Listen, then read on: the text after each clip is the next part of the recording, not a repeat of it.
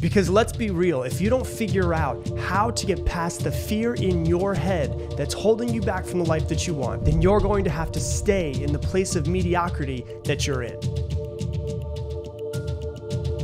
Today, we're going to be talking about how to conquer the fear that's inside of your head. And it sounds a little weird to say conquer because I'm actually going to tell you why that's wrong, but it's how to get past the fear that's in your head that's holding you back from the life you want. But before we dive into that, let's really talk about the issue with fear. The issue with fear is that fears are holding you back from creating the life that you want. At its simplest form, that's really what it is. So, fears are one of the worst things in the entire world because they're holding you back from the life that you truly, truly want. And so, learning how to work with your fears is probably one of the biggest skills that you can learn. And it is an actual skill, and you'll realize why that is as I start to dive in. And most people, they never learn how to get past their fears. They never do get past their fears. And then I would assume a lot of people get to the end of their lives and like, damn, I wish I could have done more. I wish I could have impacted more people's lives. I wish I could have done more in the world. I wish I would have created the art that I wanted to, but I was too afraid to. I wish that I would have spoken up more about what I truly believed in, but I was too afraid to. So, in this episode, we're going to talk about how to get past your fear so that it doesn't hold you back anymore, so that you can ultimately go out Stop being afraid and create the life that you truly want to. Because most people, I don't want to say most, I guess most people probably, will do almost anything to avoid their fears. Almost anything. To the point where they'll live a life that they don't truly want. Every waking moment of their life, they have the opportunity to go out and do something great, whatever greatness looks like to you. And so most people will try to avoid fear. And people have this this preconceived notion that successful people have no fear or they're fearless. We always hear, oh, this is the fearless leader. No. And I've said this before many times in the podcast. This is the truth is that successful people fear as much as people who are quote unquote unsuccessful, but the difference is successful people don't listen to their fear and they go and do it anyways. That's the truth of the matter. And the the fact of the matter is that most fears today are not life threatening. Now, when you understand what fears are used for and, and, why they actually make sense, you kind of respect them a little bit more. But there's only two fears that a human is born with. That's it. Number one is the fear of falling. Number two is the fear of loud noises. The fear of falling and the fear of loud noises. Everything else, this is very important, listen to this. Everything else is absolutely learned from our upbringing whether that's our parents, whether that's society, brothers, sisters, people that we know. Every other fear besides the fear of falling and the fear of loud noises are learned by a human. And fears aren't real because ultimately, as you may have heard, it's like an acronym false expectations appearing real. How often, and I would guess, you know, probably pretty often, have you feared something that never even actually happened? Have you worried so much about something that could possibly happen in the future and it never happened. How often does that happen? Well, in case you're curious, there was a study that was done on this and found out that 85% of what humans fear and worry about never even actually happens. So 85% of the stuff that's holding you back from the dreams that you truly want will never happen. That's crazy if you actually start to think about it. And why I say that they're not life threatening is this is because the the ultimate thing that you have to realize uh, about the brain is that fear is put into us for our survival. And I'll talk about that a little bit more in just a few minutes. But fear is the signal that we're about to get out of our comfort zone. We're about to leave safety. We're about to get out of our comfort zone and that potential death could be coming. Now, you know that if you go and ask your boss for a raise and you feel that feelings of fear, he's not going to kill you right? I hope not, or else you probably need to get a new boss. But ultimately, you know that's not going to happen. But the feelings that you feel of fear are the same types of feelings as if you're walking in the middle of the night and you hear sounds in a bush. It's the same physical feelings of fear inside of your body. So, fear is telling you that you're getting out of your comfort zone. Here's the really important thing to realize though getting out of your comfort zone, you know, if you're listening to this or if you're watching this, you know that feeling like getting out of your comfort zone and getting out of your comfort zone is ultimately a good thing. You need to get out of your comfort zone. You know that. So if you feel fear, and fear is the the thing that's telling you you're about to get out of your comfort zone, that means that that feeling is not bad. That feeling is actually good. So if you can switch your brain around to realize this feeling is good that I'm feeling, I should lean into this, your life will be completely different. Because ultimately, you have two choices when you feel fear. Number one, you can give in and you could just give in to the fear. Or number two, you can lean into the fear and go, you know what? Okay. Now, if I think about it, my brain is telling me right now, it's sending the signals of I'm about to get out of my comfort zone. I know that this thing that I'm about to do is not going to kill me. That's a fact. And so if I think about it, I should actually know that these feelings are good because it's telling me that growth is on the other side. It's telling me that I'm about to get out of my comfort zone because ultimately I know getting out of my comfort zone is a really good thing. And where your fear comes from is a little tiny part of your brain in the back of your back of your brain. It's called the amygdala, and they call it the reptilian part of your brain. And uh, it generates fear in order for you to get away from danger, which is incredible. So it's an incredible tool because it kept our species alive for 2 million years. But you have to realize there's no potential death for most of the people that are listening to this. You don't have potential death when you're walking outside every single day, right? So when the amygdala was first around and we were, you know, a million, two million years ago, all of that, you have to realize if we heard a rustling in the bush, the amygdala would click on and say, hey, there's something to fear there okay, do something different. We need to get out of this place. We need to run, fight or flight, whatever it is that we need to do. Now, you're not going to leave your house and be attacked by a lion. So, you still have those physical feelings, though. That part of your brain still exists, which means it's going to be used at some point. It's going to click on. So, even though our external world has changed vastly, I mean, even just in the last hundred years, we're still working with the exact same hardware that we've had for hundreds of thousands, if not millions of years. And so we're working with the same hardware that kept our species alive, that kept us away from lions and kept us, you know, from everything that we needed to fear because it meant potential death. But now, if you're going to go ask your boss for a raise, you're not going to die, and you know that. But that part of your brain still exists. So it generates fear to get you away from danger, potential danger, aka getting outside of your comfort zone now in modern day. The difference is it doesn't know the difference between a good fear and a bad fear. And yes, I said that correctly. A good fear because most people listening to this probably think that all fears are bad. No, there's bad fears, which is potential death on the other side of that fear. Someone comes, comes at you with a knife, there's going to be a fear mechanism that's clicked on to get you to go to your fight or flight to either run or to attack that person to make sure you don't get stabbed, right? Fend for yourself, whatever it is you need to do. That's a bad fear. A good fear is, like I said, feeling it and not giving in, but leaning in, going, okay, I know what my body's doing. I know why it's doing this, but I'm not going to die. So I need to lean in because it's actually telling me, Rob, you should lean into this because this is outside of your comfort zone. And I know outside of my comfort zone is where I grow and everything that I want is outside of it. So it's it's incredible if you actually start to realize that this is how you can use it. When you understand it, you can use it. And when you can use it, you can change your life. And so it doesn't know the difference between good or bad fears or good or bad risks. It just wants to avoid all of them. That's it. But you can consciously think is this something I should be incredibly afraid of? Or is this something just telling me that I'm about to step out of my comfort zone and I need to lean in? So, you know, the amygdala, amazing for for fear and it's amazing for avoiding danger but it's terrible if you want to grow a business or if you want to ask somebody out or if you want to ask for a raise if you want to create content on the internet and put it out there and be judged by everybody or make a shift in the world or stand on stage and speak publicly to impact people it's not good for that but it's really really good for avoiding death and danger. So it's like Will Smith said. Will Smith said, Fear is not real. The only place that fear can exist is in our thoughts of the future. It's a product of our imagination, causing us to fear things that are not present and may never exist.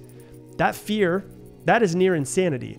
Do not misunderstand me. Danger is very real, but fear is a choice. Fear is a choice. You can't remove the amygdala, it's in your head. So you got to figure out a way to work with it. You got to figure it out. That's just the way it goes.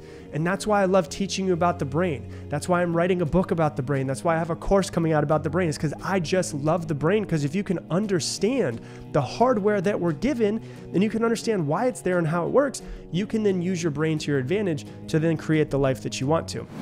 Hey, if you're enjoying this video, do me a favor and hit that like button down below. It helps with the YouTube algorithm so that more people can see this message because it helps us get it out organically. So hit that like button and I appreciate you. So we need to feel the fear. That's a good thing, uh, but we can't let it stop us. We've got to let us. We've got to lean in and continue moving forward. And so you really have to to start thinking about and breaking down your fears and thinking about them. I remember that long time ago, um, I used to run a company and I had you know hundreds of sales reps under me. Uh, I had a few thousand that I trained, uh, and this was when I was younger, so it was about 15 years ago. And they used to be really afraid. My sales reps were really afraid of making cold calls, and so what they uh, it would happen all the time. And so I'd have to make their fears silly. And so I would sit down with them and I would say, okay, so tell me what's going on. Oh, I'm just afraid to make phone calls. Okay, what are you afraid of? I'm just afraid. It's it's it's just the the fear is coming up every time I pick up the phone. Okay, so are you afraid of the phone? Uh, yeah, I guess I am kind of afraid of the phone. And so I would go, okay, hey, do me a favor. Go ahead and pick up your phone real quick. And they'd go and they pick up their phone. I they say, here it is. And I say, okay, I want you to look at your phone. They look at your phone. I say, okay, I want you to look at that phone and say, I am afraid of you. And they go, wait, what? I, you know, I want you to look at your phone and I want you to say, I am afraid of you. And they're like, why? I'm like, just do it. And they're like, I am afraid of you. I'm like, do it again. I am afraid of you. I'm like, do it again. I am afraid of you. Okay, do it in a deeper voice. I am afraid of you. Okay, do it in a higher voice. I am afraid of you. And what I'm trying, eventually I started laughing. And what I tried to make them do is try to take their fear that really was a ridiculous fear of just pushing buttons. That's all that it was a fear of just pushing buttons and talking to another human on the other side of the phone taking that fear and making it ridiculous and seem ridiculous because if you can make it seem ridiculous to the brain, the brain can release it and go, oh, there's no death on the other side of this phone. This customer's not going to come through with a knife and, and stab me. So you got to kind of make it uh, make it a little bit silly because it's either scary, which you can allow it to be, or you can go, this is ridiculous. This fear makes no sense. This is silly. And that's how you start to get past it. So the good thing is, luckily, we're the ones that make our fears up. We're the ones that are afraid of the phone calls. We're afraid of, you know, going up and talking to that person because of what they might say. We're afraid of being on stage because ultimately we're afraid of messing up and people making fun of us or whatever it is. So we make our fears up. So the difference is, is we have to figure out a way. If we're thinking of those fears, we've got to think differently about the fears that pop up. And when we feel the fear, it's a good thing. Once again, I'm going to say it a million times this podcast episode lean in. Lean in, lean in. You have to push past the point of comfort because ultimately that's where the change happens. So, how do you remove the fear from your body? You can't. But I'm gonna go ahead right now and give you a few tips to help you work with the fear to make it a whole lot better. So, the first one is you got to change your mindset around fear. You've got to change your mindset around fear. How do you change your mindset around fear? Well, you know, the the phone example is a perfect example. You make it silly so that it's you're like, "Oh, that's ridiculous. Why do I need to hold on to it?" Or you have to show your brain why it's wrong or why it's ridiculous. And the best way to do this is to take pen to paper, not to type it out on your computer, not to type it on your phone, but to take pen to paper and write it out and to ask yourself some questions. So you write them down and you ask yourself, "What am I afraid of?" You write that question down and you answer that question. What am I afraid of? And you write it down. And then you look at it and you say it out loud. Here's the interesting thing. The reason why you want to say it out loud because not only are you saying it, but then also what's happening is you're hearing it. And so, have you ever thought something before and then you say it out loud and you're like, "Oh my god, that was ridiculous." Or have you ever feared something and you say it out loud and you realize with saying it, it almost turns ridiculous right away and you're like, "Oh my gosh, why am I fearing that?" Well, that's what we're trying to do right here. We're trying to actually make this ridiculous. So you can say it out loud to yourself. You should say it out loud to yourself. So you write it down. What am I afraid of? And then you say, I am afraid of getting up in front of people and speaking because I'm afraid I'm gonna mess up. And then you just say it out loud to yourself. Okay. The next question you want to ask yourself is what good can come from doing XYZ, whatever it is. Let's say it's the fear of public speaking. What good can come up from me going up on stage and speaking in front of people? And then you answer it. What good can come from it? I'm trying to find more positives in the speaking than the negatives. I'm trying to make my brain weigh out the options and go, oh, I'm not going to die by hopping on stage. And I could possibly help this person, that person, this person, that person. And then your brain starts to go, all right, maybe I should let go of this and let Rob hop on stage. So, what good can come from this? Next question Why should I not be afraid of this? Why should I not be afraid of getting on stage and speaking in front of people? Well, because I ultimately do want to do some more public speaking. I know that you can really impact people from stage. It is something that I'm passionate about. I love watching public speakers, and if I love watching them, I love to be one. And you could go on and on and on and on. So, you know, what good can come from this? And why should I not be afraid of this?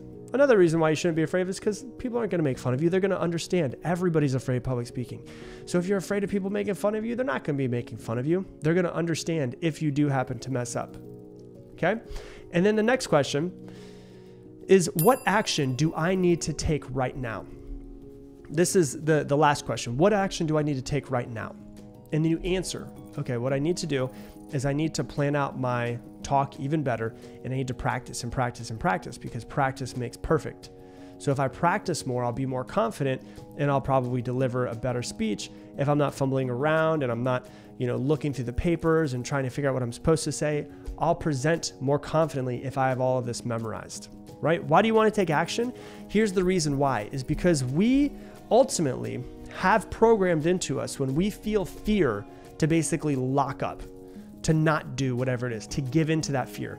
You know, it's the same way where if, you know, you hear rustling in the bush, you're going to run, or sometimes you're just going to lock up and you're going to stare and sit there for a second. You're going to look around and see if you can see any lions, right? So a lot of times what we've, we've trained ourselves to do over 20, 30, 40 years, 50 years of your life is that when you feel fear, you give in. When you feel fear, you give in. When you feel fear, you give in right? Now you've got to retrain yourself. Teach an old dog new tricks. Now you've got to train yourself. When you feel the fear, you've got to take action. You feel the fear, you take action. You feel the fear, you take action. If you do this long enough and you're conscious enough doing this, if you continue to keep doing it over and over and over again, fears won't hold you back anymore. You've ultimately used classical conditioning on accident to yourself. And if you want to know what classical conditioning is, you can look it up. But you've used classical conditioning on yourself on accident for when you feel fear to be paralyzed by it. That's what you've trained yourself, the same way you train a dog. You've trained yourself to not take action when you feel fear. Why do you think it's so damn hard to not take action now? Because you feel the fear and you lock up. You've trained yourself to do that. Same way that you train a dog, sit. You say sit and they sit because they get used to it. It's just an action they get used to. So now you've got to retrain yourself to when you feel fear, you got to take action. You got to go. And then what you say is for each one of those, you say them out loud because there's power in writing it down, there's power in saying it, and then there's power in hearing it because you're trying to program these things into your subconscious. You're trying to get your brain to realize that your fear is ridiculous and it needs to release it because your brain wants to conserve as much energy as possible. If it doesn't need to worry about whatever this thing is, it'll let go of it. Okay? What's the next thing that we need to do in order to get rid of our fears? We need to make our goals or the things that we're going for a little bit more bite size. So instead of saying, hey, I want to make $100,000 this year, if you've never made $100,000, what you can do is you can take that number and break it down and say, I want to make $8,333 this month, right? That number seems much more digestible than the entire $100,000. And so you take your numbers, then your goals, and chop them into bite sized pieces. Have little check marks along the way because the bigger that something feels to you, the less likely you are to take action. If you can chop it up into smaller sizes, you're more likely to take action, which means you're more likely to do what you need to do, which means you're more likely to hit your goal. And then when you do $8,333 in a month, you're like, I can do this again. And it gets you excited, and then you do it. It's just important to make sure that you chop them up so that they don't seem as large as they are. And then the last thing is this learn to dance with your fear. That's what I always say. Dance with your fear. You're going to feel it. Once again, as I said in the beginning, successful people and unsuccessful people all feel fear. The difference is what they do when they feel it. If you train yourself long enough, you'll realize that people that don't take action have trained themselves not to take action. They've trained themselves. You've trained yourself not to take action when you feel fear. But if you can use these steps, if you can write them down, if you can become self aware, and next time you feel the fear, go, What am I feeling? Okay. I'm a little terrified right now. Okay. Why is that? What am I afraid of right now? Because ultimately, when, when you're just thinking things, when things are in your brain, it's very abstract. When it's in your head, it's super abstract. But when you write it down on a piece of paper, you can get very clear on what things are going on. And so you can feel it. What am I feeling right now? Okay, I'm feeling fear. Okay, what should I do? Okay, I'm going to go ahead and write down what am I fearing? You start to write it down. You look at it and you go, that's not as bad as I thought it was going to be. It's not that bad. I think I can deal with this. I think I can work through this. And then ultimately, what do you do? Then you take time, go through this whole process, and you say, what action do I need to take right now? What action do you need to take right now? Whatever it is, take that action because you've trained yourself not to take action. Train yourself to take action because fear is a good thing. You'll never conquer fear, you'll never overcome fear. But what you will do is you'll learn how to dance with the fear. You'll feel it, you'll understand it, you'll know why it's there, and you can either give in or you can lean in. What you want to do is lean into that fear because it's showing you that you're about to step out of your comfort zone. And you know that everything that you want is on the outside of that comfort zone. Hey, thanks so much for watching this video. If you want to learn even more about mastering your mind, click right here and watch this video as well. There will never be a perfect time. The perfect time is always now because your comfort zone is where your dreams go to die. You have to jump off the ledge and know that the parachute will open. You can't open the parachute before you jump off the ledge.